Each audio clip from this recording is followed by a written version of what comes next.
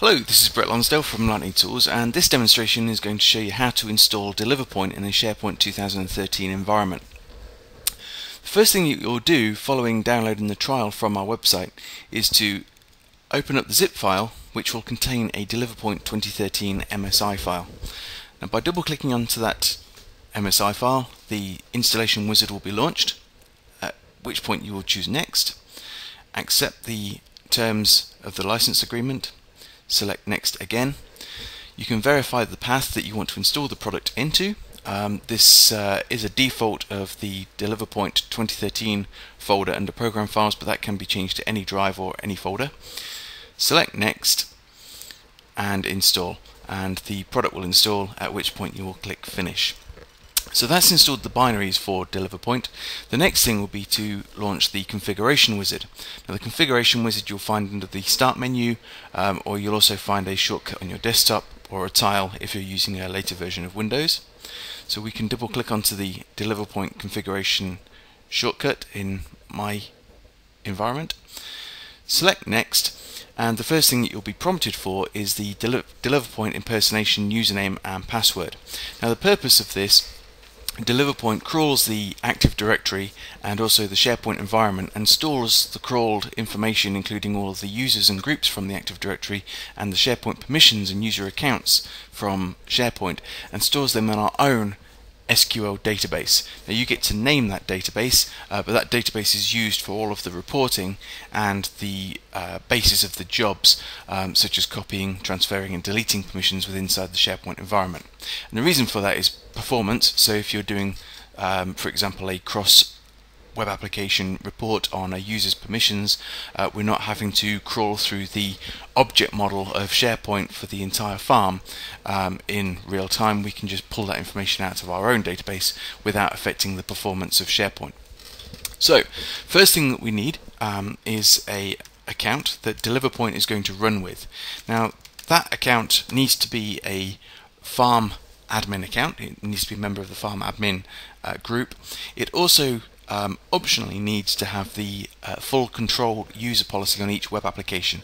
I say optionally um, because being a farm admin account doesn't necessarily give you full control to all of the objects within inside each web application. So uh, to be on the safe side, you can create a web application policy granting the DeliverPoint service account full permissions to everything. And the purpose of that is just to be able to crawl the information. Obviously, the nature of SharePoint requires that you have the uh, manage permissions role in order to or, or read permissions to be able to uh, gather that information. So that's the uh, the first thing that you need to ensure. Um, you'll also enter a password for that account and select next. Okay, the next point is to specify the location and the um, database name. So I'm going to put in the name of my SQL server. Uh, the SQL server could be the same SQL server that is hosting the configuration database and the content databases or it can be another server. It really doesn't matter which SQL server that is, and it can be anything from SQL Server 2005 onwards. Um, in this case, I'm using uh, SQL Server 2012. The database name also doesn't matter. Uh, for the purpose of this demonstration, I'm going to call it DeliverPoint. I'm going to select Next, and at that point, um, the installation will uh, will carry on. It's going to create the database for me, and it's also going to deploy the WSP. Uh, this will take a little while. Um, it says on the screen that it could take up to 15 minutes. That would be unusual, um, but five minutes would be uh, probably about the norm. Um, so what I'm going to do is click next and we'll pause the demonstration until the, uh, the process has finished.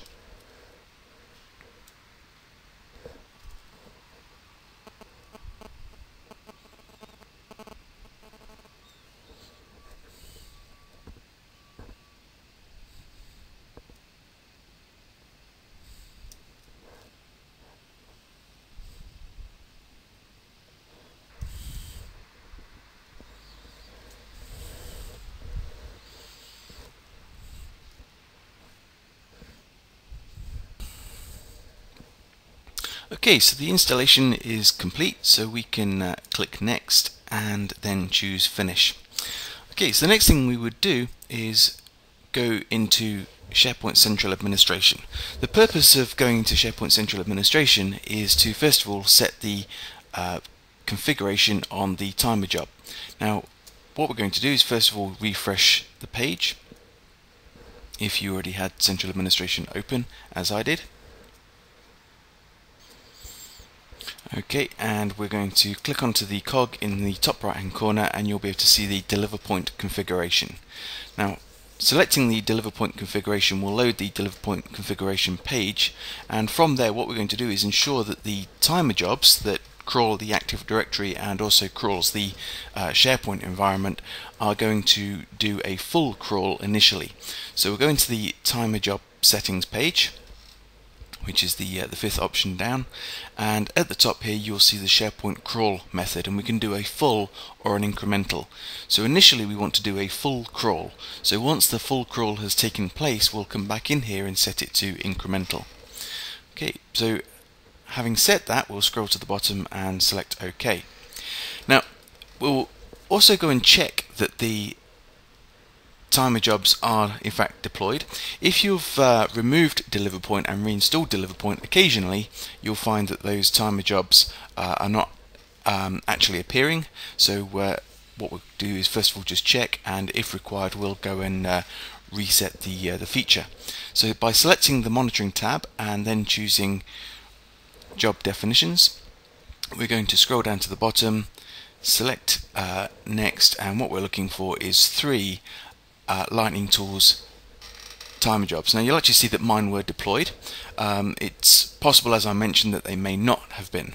So if that is the case then what we'll do is uh, we'll go to the system settings click onto manage farm features and you'll notice in here that there's a lightning tools dash deliverpoint 2013 timer jobs feature.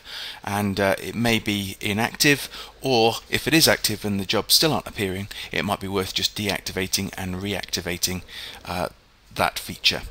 Okay. However so mine were successful. So the next thing I'm going to do is go to the monitoring tab again and review the job definitions. And what we're going to do is initiate our first crawl. So um, the first one that we want to execute is the auth store interrogation.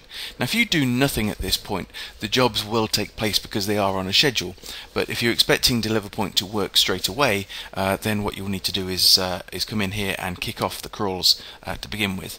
So uh, the first thing I'm going to do is go into the Lightning Tools DeliverPoint auth store interrogation job and you'll notice here that it runs every Saturday at 2 o'clock in the morning or 2.30 uh, 2 to 2.30 in the morning.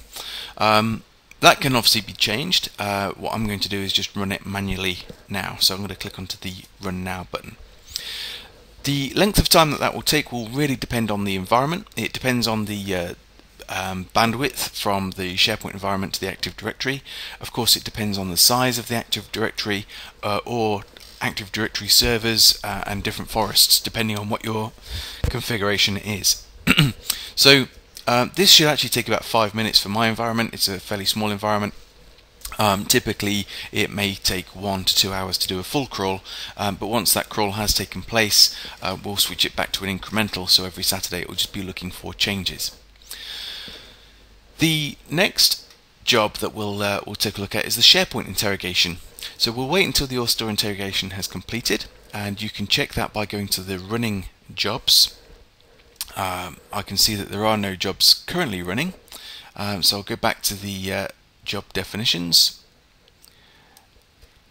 So that will imply that my uh, auth interrogation has completed. And the next thing I'm going to do is uh, kick off the SharePoint interrogation. So we'll click onto that and uh, notice that this runs every day um, at 2 o'clock in the morning. And um, again it's going to do a full crawl initially but after that it will do an incremental crawl. So I'm going to run now. That will kick off the full crawl for us. Okay. Now the third DeliverPoint job is the uh, job execution. That's not a crawler. That uh, the purpose of that job is to actually uh, run every five minutes and it has the job of um, copying the permissions or transferring the permissions uh, and so on when you schedule a job to take place. Uh, so that's not a crawler so we don't need to actually execute that or do anything with it. Uh, the only purpose uh, for running that manually would be if you performed a copy operation or a transfer of permissions and uh, you didn't want to wait five minutes, you wanted to trigger it now. Okay, so um, with that in mind, let's go and check the installation.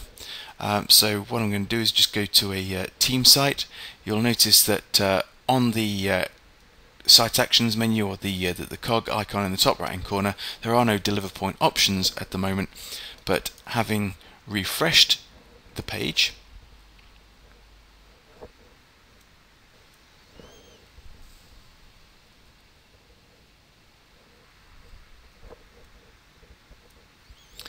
we'll click onto the uh, cog icon again and this time you can see there's two DeliverPoint options. So the uh, the bottom option is a discover site permissions. So uh, it's worthwhile just checking that that's going to bring some information back for us. So we can go into there. Uh, we can run a permission report either on uh, a particular user um, or on a particular permission for example I can get rid of some of these permissions if I'm going to have an overwhelming uh, permission report. Uh, click next and we should start to see some results coming back. So uh, so here we can see the permissions that each user has and uh, also how those permissions have been assigned. So that's looking good. Uh, the next thing to check is to click onto the cog icon again and this time we're going to choose the DeliverPoint 2013 option. And by selecting that this is the main DeliverPoint dashboard. And once that has loaded uh, what we'll see is within our server farm we have uh, our web applications and you'll be able to drill down into your web applications and you'll be able to see your managed paths your site collections and also your sites. So if this is populated that means that the uh, SharePoint crawl has been 100% successful and uh, from here you'll be able to see all of the different um, sites within inside your site collection uh, you'll see the different types of icons depending on whether they inherit permissions or they have unique permissions and you'll also be able to perform the operations such as copy, transfer, delete and uh, run the, the permission reports etc. So that's a uh, successful DeliverPoint installation. The final thing that you'll want to do um, post installation is to go back to SharePoint Central Administration and under the DeliverPoint configuration page you can go back to the timer job settings and switch the SharePoint crawl method to incremental and uh, that will from now on just simply do a, an incremental crawl based upon the schedule. The other thing that you might want to um, set if we uh, select OK to that uh, is if you're in a large environment with multiple domains you can go into the forest settings and you can register your other domains in here and you can also exclude domains as well. The default would be for DeliverPoint to go to the global domain catalog and from there it looks up the domains that it needs to crawl. So if you don't need all of those domains crawling then you can uh, you can exclude the domains um, if you want to. Okay, so that uh, completes the installation of DeliverPoint. If you have uh, any questions at all, then please visit our website on lightningtools.com and uh, you'll notice on the menu you'll be able to submit a support ticket and uh, if you do that we'll, uh, we'll endeavour to get back to you very very quickly and uh, resolve the installation problems for you. Okay, many thanks for watching.